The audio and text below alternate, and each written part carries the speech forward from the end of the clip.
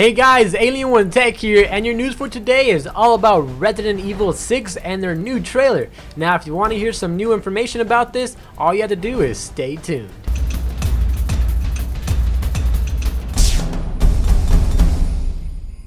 Alright, so since the last Resident Evil 6 trailer, a lot of the stuff going on with the game has been going silent which is technically a good thing because now it's time for a lot of great information to get dumped on us fans. So let's get a quick rundown on their new trailer, but before I do, let's actually see a small clip of it right now. So here we go.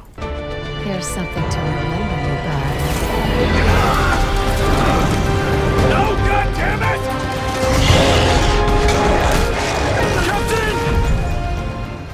Alright guys, that's it. Don't worry. I'll have a link to the trailer right there so you guys could check out the rest of it.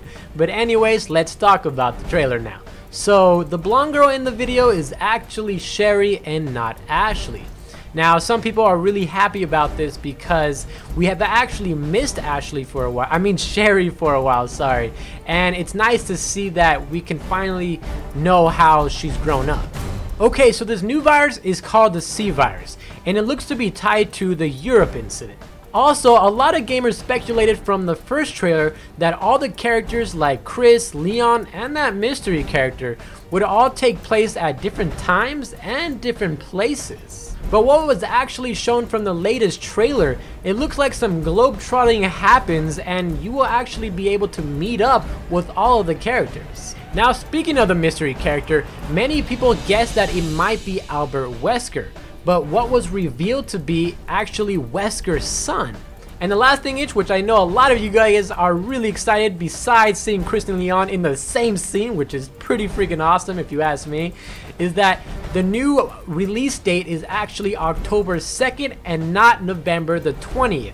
So I know that's pretty awesome because having a game coming out come out sooner than expected is always a great thing.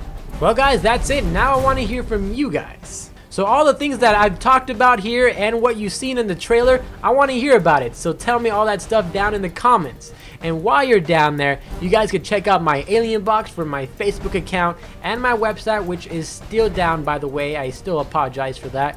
But you guys could also see my new videos, or oh, my new videos, my latest videos if you have not seen them already. You can check them out right here. And I'll see you guys in my next video. This is Alien One Tech signing out. Bye.